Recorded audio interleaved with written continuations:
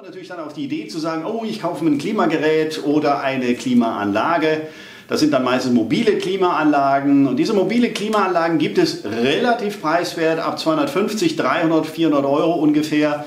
Ähm, und die kühlen auch, je nachdem, welches Gerät das ist, recht gut. Die haben aber einen Nachteil und zwar haben sie einen Abluftschlauch. Das heißt, wenn wir die jetzt hier mal anmachen, drücken wir drauf, können wir alles auch hier, wenn wir wollen, mit äh, Fernbedienung machen. Das heißt, wir können auch faul von der Couch aus das Ding ein- und ausschalten. Bei der Anlage, bei der Santec Wellness, die ich jetzt seit zwei Jahren ungefähr habe, geht hier oben eine Klappe auf und dann fängt die an zu laufen und die pustet jetzt im Prinzip die, ähm, die kalte Luft. Die ist übrigens sehr super kalt. Ich habe sie jetzt wirklich äh, heute das erste Mal seit längerem mal wieder ausgemistet und eingeschaltet. Die Dinger funktionieren einfach sofort. Die bleiben sieben, acht Monate teilweise stehen im Jahr. Da passiert gar nichts dran, dann schaltet man die an, funktionieren wunderbar. Also das habe ich bisher mit. Das heißt, ihr habt den Vorteil, ihr habt eine äh, Anlage innen, die ihr immer noch portabel haben könnt. Das heißt, ihr könnt einmal ähm, so ein Teil einfach auf die Terrasse raussetzen oder auf dem Balkon. Äh, ihr könnt aber auch, wenn ich zum Beispiel im Büro äh, das Ganze entsprechend äh, äh, montiere,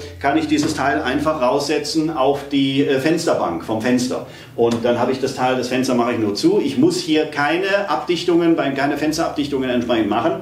Es reicht, bei mir reicht es, wenn ich diesen kleinen Spalt, so dick ist das Kabel, hier das Verbindungskabel, das reicht, wenn ich das Fenster so weit aufmache. Ich lasse das so, könnte man besser machen, ja, bevor jetzt hier wieder einer anfängt zu schreien.